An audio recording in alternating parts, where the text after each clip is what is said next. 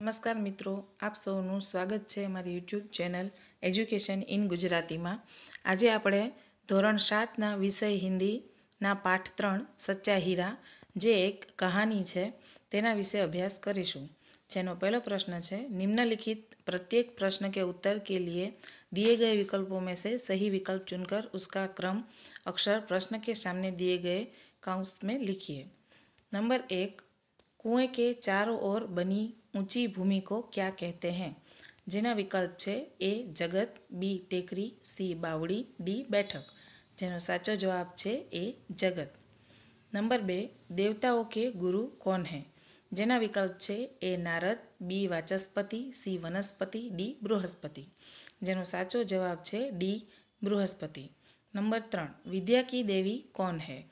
जेना विकल्प है A, Mahakali B Mahalakshmi C Saraswati D Durga Devi जेनो साचो जवाब है सी सरस्वती नंबर चार प्रकृति शब्द का अर्थ है जेना विकल्पों ए अभाव बी स्वभाव सी प्रभाव डी लगाव जेनो साचो जवाब है बी स्वभाव नंबर पाँच चारों औरतों के पीछे आने वाली महिला कैसी थी जेना विकल्प है ए काली बी गोरी सी युवती डी वृद्धा જેનો સાચો જવાબ છે ડી वृद्धा प्रश्न नंबर बे कोष्टक में से उचित शब्द चुनकर रिक्त स्थानों की पूर्ति कीजिए જેના જવાબ આપણને કૌંસમાં આપેલા છે નંબર એક પક્ષી ચહચહાતે હુએ ખાલી જગહ की ओर जा रहे थे જેનો સાચો જવાબ છે નીડ બે વાતચીત કરતે બાત ખાલી જગહ પર જા પહોંચી જેનો સાચો જવાબ છે બેટો નંબર ત્રણ लोग बड़े खाली जगह से उसका गीत सुनते हैं। जेनो साचो जवाब से, चाओ। नंबर चार, वह आधुनिक युग का खाली जगह है। जेनो साचो जवाब छे, भीम। नंबर पाँच, मेरा बेटा साक्षात खाली जगह का अवतार है। जेनो साचो जवाब छे, बृहस्पति। नंबर छ, तीसरी स्त्री का बेटा उधर से संस्कृत के खाली जगह का पाठ करता हुआ निकला। जेनो साचो जवाब छे, श्लोको। नंबर सात तीनों औरतें बड़े ही खाली जगह से चौथी स्त्री के बेटे को देखती रही જેનો સાચો જવાબ છે આશ્ચર્ય प्रश्न नंबर ત્રણ सही वाक्यांश चुनकर विधानों को पूर्ण कीजिए पहलू पहली स्त्री ने अपने बेटे को लाखों में एक कहा क्योंकि अ वह बड़े बड़े बहादुरों को पछाड़ देता था ब उसके कंठ में सरस्वती का निवास था क लोग उसके गीत बड़े चाव से सुनते थे જેનો સાચો જવાબ છે लोग उसके गीत बड़े चाव से सुनते थे नंबर बे दूसरी स्त्री ने अपने बेटे को आधुनिक युग का भीम बताया क्योंकि अ बहुत से लोग उसकी कुश्ती देखने आते थे ब वह बड़े बड़े बहादुरों को पछाड़ देता था क वह हमेशा गदा लेकर चलता था જેનો સાચો જવાબ છે वह बड़े बड़े बहादुरों को पछाड़ देता था ત્રણ तीसरी स्त्री ने अपने बेटे को बृहस्पति का अवतार बताया क्योंकि अ वह जो कुछ पढ़ता था एकदम याद कर लेता था ब उसे हाथी पर बैठने का शौक था क उसका जन्म गुरुवार को हुआ था જેનો સાચો જવાબ છે वह जो कुछ पढ़ता था एकदम याद कर लेता था प्रश्न चार निम्नलिखित प्रश्नों के उत्तर एक एक वाक्य में लिखिए प्रश्न नंबर एक सूर्यास्त के समय गांव की कुछ स्त्रियां क्या करने चल पड़ी जवाब सूर्यास्त के समय गांव की कुछ स्त्रियां पानी लेने के लिए घड़े लेकर कुएं की ओर चल पड़ी प्रश्न नंबर बे कुएं की जगत पर बैठी स्त्रियां किनके बारे में बातें करने लगी જેનો જવાબ છે कुएं की जगत पर बैठी स्त्रियां अपने अपने बेटों के बारे में बातें करने लगी પ્રશ્ન નંબર ત્રણ दूसरी स्त्री ने अपने बेटे को क्या बताया જેનો જવાબ છે दूसरी स्त्री ने अपने बेटे को आधुनिक युग का भीम बताया प्रश्न नंबर चार तीसरी स्त्री का बेटा किसका अवतार था જેનો જવાબ છે तीसरी स्त्री का बेटा साक्षात बृहस्पति का अवतार था प्रश्न नंबर पाँच चौथी स्त्री का बेटा कैसा लग रहा था જેનો જવાબ છે चौथी स्त्री का बेटा बहुत ही सीधा साधा और सरल प्रकृति का लग रहा था प्रश्न नंबर छः क्या देखकर तीनों तीनों स्त्रियों को आश्चर्य हुआ જેનો જવાબ છે चौथी स्त्री के बेटे का अपनी माँ के प्रति प्रेम और सेवा भाव देखकर तीनों स्त्रियों को आश्चर्य हुआ प्रश्न नंबर सात वृद्ध महिला ने सच्चा हीरा किसे बताया જેનો જવાબ છે વૃદ્ધ મહિલાને चौथी स्त्री के बेटे को सच्चा हीरा बताया प्रश्न नंबर पाँच निम्नलिखित उक्ति कौन किसे कहता है જેનું પહેલું છે यही सच्चा हीरा है एक वृद्धा महिला चारों स्त्रियों से कहती है, नंबर बे, माँ, लाओ, मैं तुम्हारा गड़ा पहुँचा दूँ। चौथी स्त्री का बेटा माँ से कहता है, नंबर त्रण, सुनो, मेरा हीरा गा रहा है। पहली स्त्री अन्य स्त्रियों से कहती है, नंबर चार, देखो, यही है मेरी गोद का हीरा। तीसरी स्त्री अन्य स्त्रियों से कहती है, नंबर पाँच, देखो, वह मेरा लाडला बेटा आ रहा है। दूसरी स्त्री अन्य स्त्रियों से कहती है प्रश्न छ निम्नलिखित प्रश्नों के उत्तर लिखिए प्रश्न एक पहली स्त्री ने अपने बेटे की प्रशंसा कैसे की જેનો જવાબ છે पहली स्त्री ने कहा कि मेरा बेटा लाखों में एक है उसका कंठ बहुत मधुर है वह बहुत अच्छा गाता है उसके गीत को सुनकर कोयल और मैना भी चुप हो जाती हैं लोग बड़े चाव से उसका गीत सुनते हैं भगवान सबको मेरे जैसा बेटा दे इस प्रकार पहली स्त्री ने अपने बेटे की प्रशंसा की प्रश्न बे दूसरी स्त्री ने अपने बेटे की तारीफ में क्या कहा જેનો जवाब છે दूसरी स्त्री ने अपने बेटे की तारीफ में कहा कि उसकी बराबरी कोई नहीं कर सकता वह बहुत ही शक्तिशाली है वह बड़े बड़े बहादुरों को भी पछाड़ देता है वह आधुनिक युग का भीम है इस प्रकार स्त्री ने अपने बेटे की अपने बेटे के बल का बखान किया प्रश्न नंबर ત્રણ तीसरी स्त्री ने अपने बेटे की विशेषता में क्या कहा જેનો जवाब છે तीसरी स्त्री ने कहा कि मेरा बेटा साक्षात बृहस्पति का अवतार है वह जो कुछ पढ़ता है उसे एकदम याद कर लेता है ऐसा लगता है मानो उसके कंठ में सरस्वती का निवास है इस प्रकार तीसरी स्त्री ने अपने बेटे की बुद्धि की तारीफ की प्रश्न नंबर चार चौथी स्त्री ने अपने बेटे का परिचय कैसे दिया જેનો जवाब છે चौथी स्त्री ने कहा कि मेरा बेटा तो एक साधारण लड़का है वह ना तो गंधर्व सा गायक है न भीम सा बलवान है और न बृहस्पति सा बुद्धिमान है मैं उसकी प्रशंसा कैसे करूं?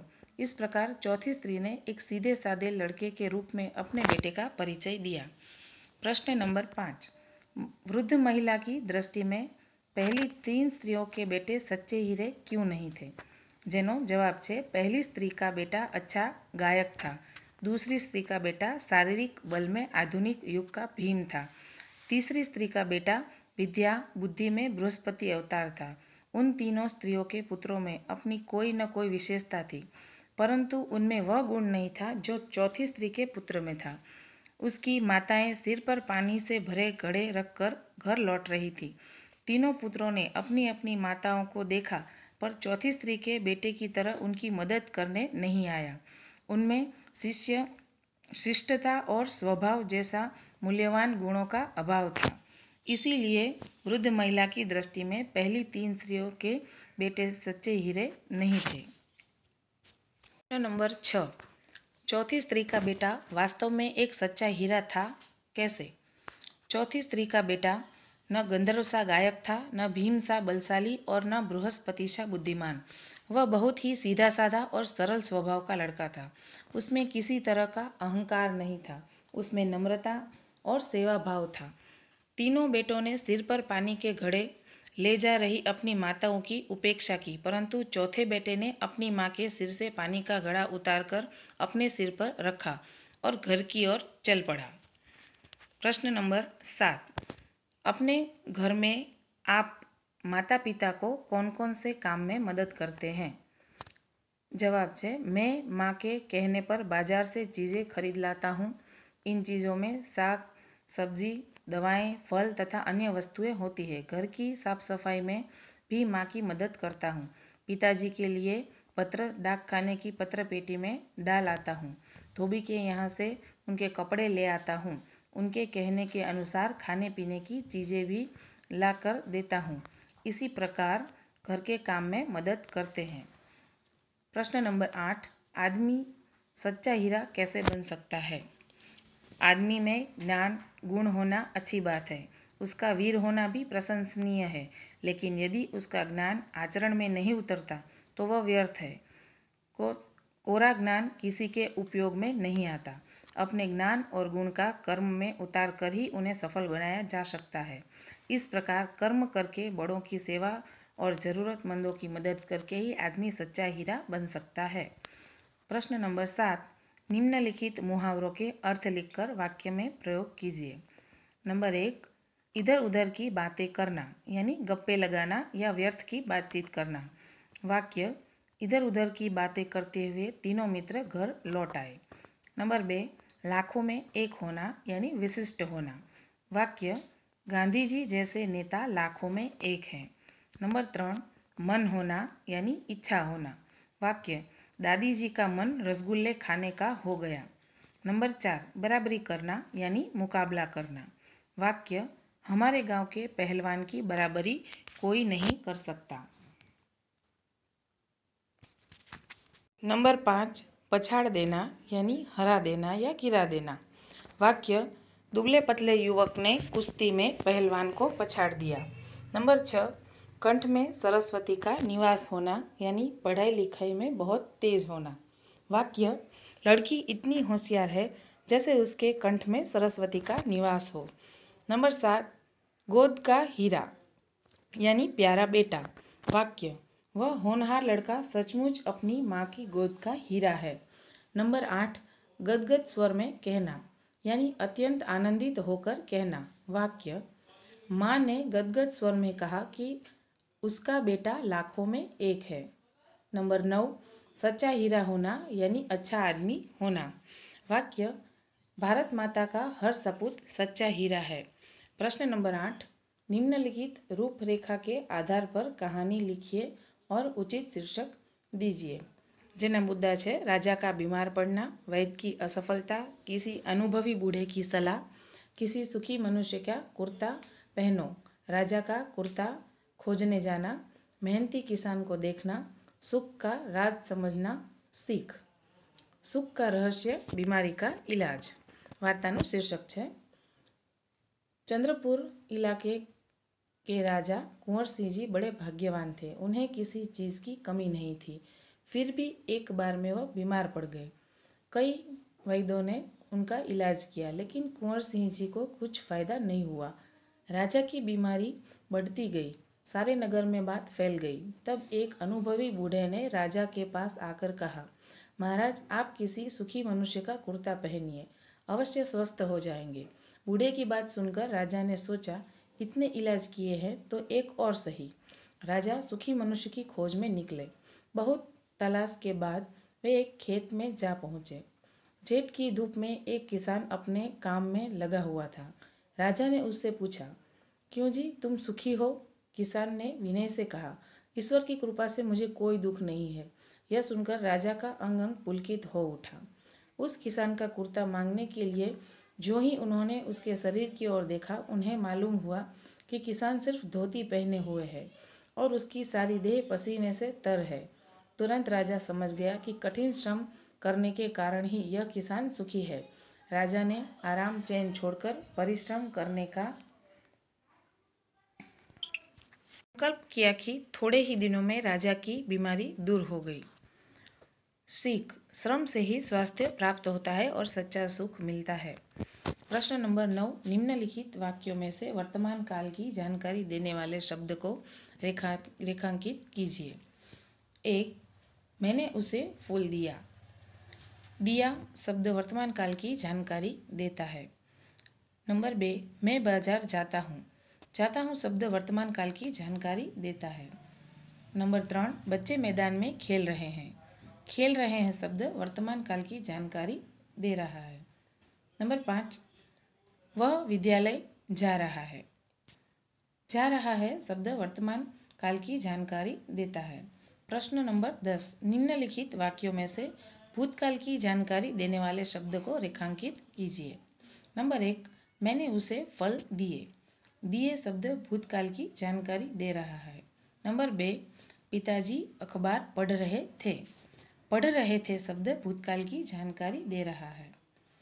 नंबर छ, हम पहले सूरत में रहते थे। रहते थे शब्द भूतकाल की जानकारी दे रहा है। प्रश्न नंबर अग्यारह निम्नलिखित वाक्यों में से भविष्यकाल की जानकारी देने वाले शब्दों को रेखांकित कीजिए। नंबर एक माली बाग में से फूल चुनेगा।